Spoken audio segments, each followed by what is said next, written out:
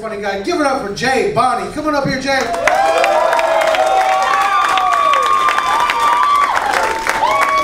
What up, what up? Listen, y'all, I'm so excited to be here. I'm so excited to be here. I popped a Viagra before I drove down here. Yeah. Made you look. You ain't slick, bro. Come on. Nah, but for real though, I'm gonna get right into it. I'll never forget the day my dad found out he had high blood pressure. Nigga was salty as fuck. Growing up, he always told me, Jay, broke niggas only make jokes. Y'all can do the math on that one. Yeah. Kind of broke right now. I got a job two weeks ago, but prior to that, I was three months jobless, okay? Yeah, and the tragic part about that is because of my budget, I could only afford to date skinny girls. And that's no shade to skinny girls. Like everybody likes a girl that you know takes care of herself and all that. But at the end of the day, thick girls take the cake. there you go. yeah, man, I like thick girls. I like when they weigh about as much as I do or a little bit more. But straight up, it's a deal breaker. She's so big I can ride on her back. yeah, I'm not doing that. But it would be cool if I could get rides from the kitchen to the couch every once in a while. You know, that would be cool. She'd finally get some fucking exercise. Fat bitch.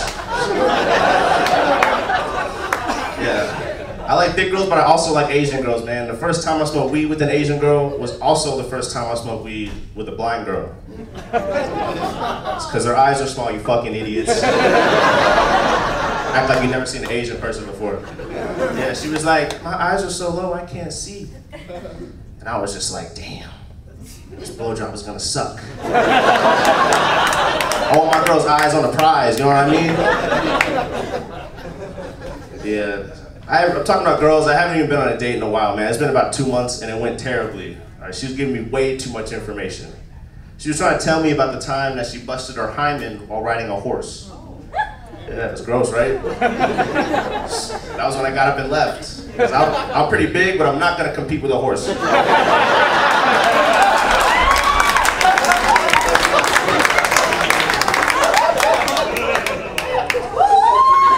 On my best friend's a 9/11 truther. Yeah, kind of weird. I wish I could get up every day and believe George Bush's dumbass was smart enough to pull that shit off.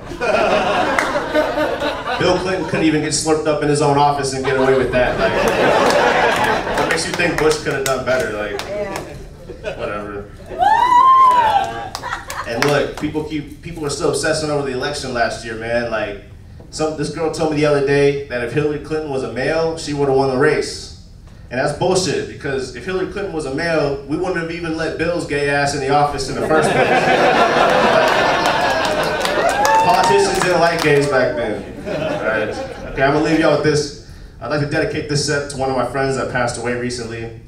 Yeah, we were listening to death metal and I got carried away and sacrificed him. I sprinkled some of his ashes in my grinder so we could get high together one last time. Known fact, smoking a stoner's ashes actually gets you a mild body high. So if anybody's interested, I'll be selling $20 ace after the show. My name is Jay Bonny, everybody. Thank you.